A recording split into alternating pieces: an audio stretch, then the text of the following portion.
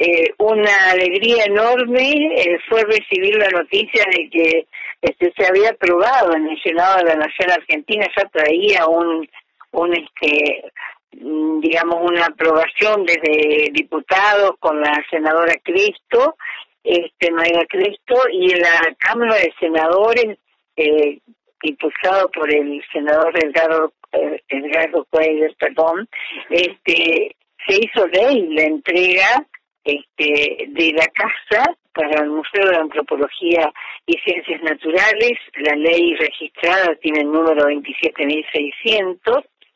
y esto es una gestión, en realidad eh, pasa, el, la casa pasa a poder de la Municipalidad de Concordia, ¿no? Claro. Y hay una ordenanza previa, una ordenanza municipal.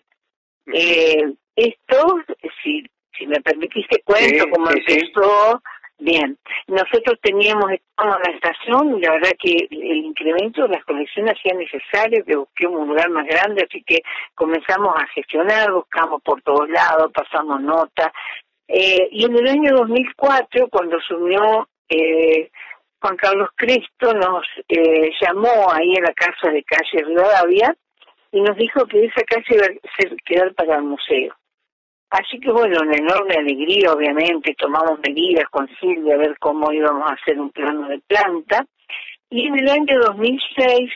eh, la verdad que el interés puesto de manifiesto por la Dirección de Planeamiento, también con miembros del Consejo Deliberante, con este, el Colegio de Arquitectos, hizo que naciera una ordenanza.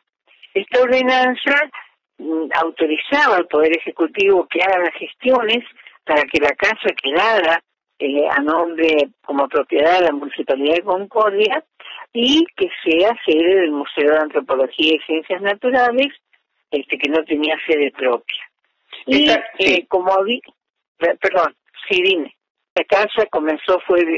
eh, siendo vivienda familiar y luego, bueno, tuvo otros otros habitantes hasta que quedó eh, como sede de la gerencia de Ferrocarril Urquiza. En esa misma ordenanza que estaba mencionando, que es la 33.261,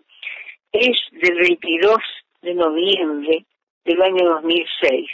Bueno, en esa ordenanza ya se establecía que como el museo tenía eh, bastantes colecciones y además eh, previendo, como dice la ordenanza, el crecimiento futuro de la institución, que bueno, se, se manifiesta como la referencia de toda la región y en la costa del Uruguay, entonces eh, se autorizaba también al Ejecutivo a realizar gestiones ante CAFEC para que se llame a concurso de anteproyectos para intervenir la parte del fondo, es decir, eh, mejorar o lo que había y ampliarlo o hacer nueva una nueva construcción en la parte del fondo.